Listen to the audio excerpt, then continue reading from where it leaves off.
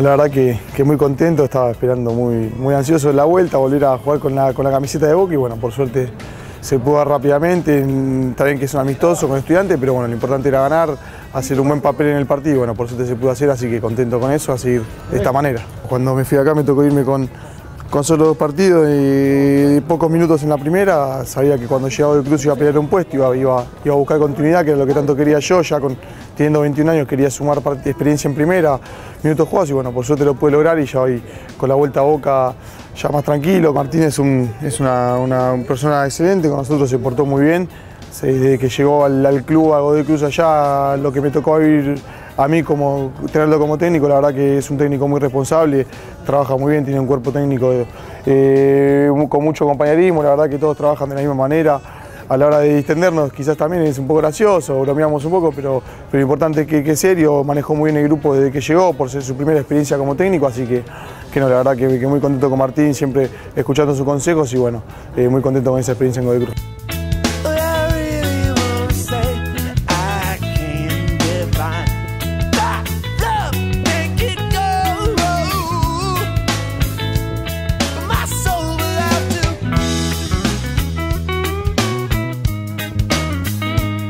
Yo cuando sabía que tenía que volver al club, sabía que la tenía, que la tenía bastante difícil pelear con el puesto con un jugador como, como, como lo es Clemente, que ha ganado, ganó todo acá en Boca, ganó muchos títulos. La verdad que es un jugador que suma mucho al, equipo, no solo defensiva, sino también ofensivamente. Era,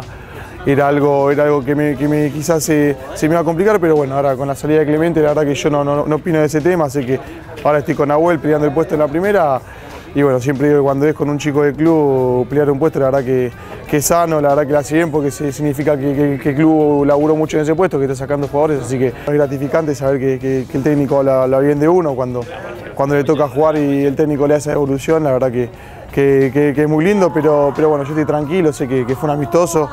eh, no era prueba de nada, solo quería demostrar que, estaba a la altura de las circunstancias, por suerte pude hacer un partido aceptable y bueno, así de la misma manera, sé que, Carlos había hecho eso, así que, muy contento con eso, un jugador siempre lo gratifica mucho y espero seguir así de la misma manera y realmente seguir sumando minutos en la primera de.